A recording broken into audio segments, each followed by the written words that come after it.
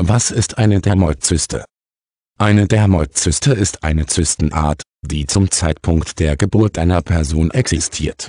Es ist eine sackartige Tasche oder Höhle, die unter der Haut enthalten ist und dadurch gekennzeichnet ist, dass sie Gewebe und Strukturen aufweist, die typischerweise auf der Außenseite der Haut zu finden sind, wie Flüssigkeit, Haare, Haut und Zähne. Dermoidzysten entwickeln sich aus einem angeborenen Defekt, der das Zusammenwachsen der Hautschichten hemmt, während sich ein Fötus im Mutterleib befindet. Die Zysten enthalten Epitel, eine Zutat, die die Entwicklung und Funktion von Hautöl, Haarfollikeln, Talg und Schweißdrüsen unterstützt. Während der Körper wächst, folgt die Zyste dem Beispiel und bewirkt, dass sich eine Ansammlung dieser Gewebe und Zellen in der sacchartigen Struktur ansammelt.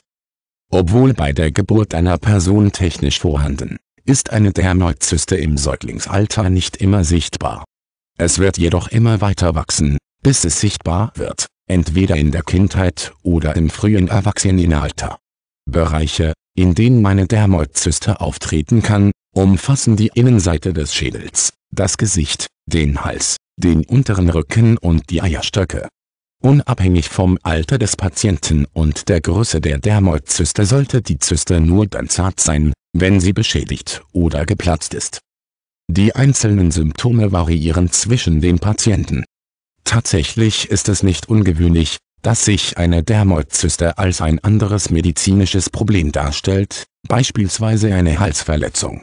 Typischerweise ist eine Dermoidzyste schmerzlos. Seine Farbe kann den Hautton einer Person widerspiegeln oder leicht gelblich sein. Die Haut über dem Knoten sowie der Knoten selbst kann bei Berührung leicht bewegt werden. In der Regel ist vor der Behandlung eine ärztliche Diagnose erforderlich. In den ersten Stadien der Diagnose wird die Krankengeschichte einer Person ausgewertet und eine körperliche Untersuchung durchgeführt Befindet sich die Zyste am Kopf oder Hals, werden eine Computertomographie und eine Magnetresonanztomographie durchgeführt, um festzustellen, wie die Zyste im Verhältnis zu den anderen Kopf- und Halsgeweben des Patienten vorhanden ist. Wenn sich herausstellt, dass eine Entfernung erforderlich ist, kann eine Operation empfohlen werden die Entfernung von Zysten aus dem Gesicht ist das am wenigsten komplizierte Verfahren und kann möglicherweise in einer Arztpraxis durchgeführt werden.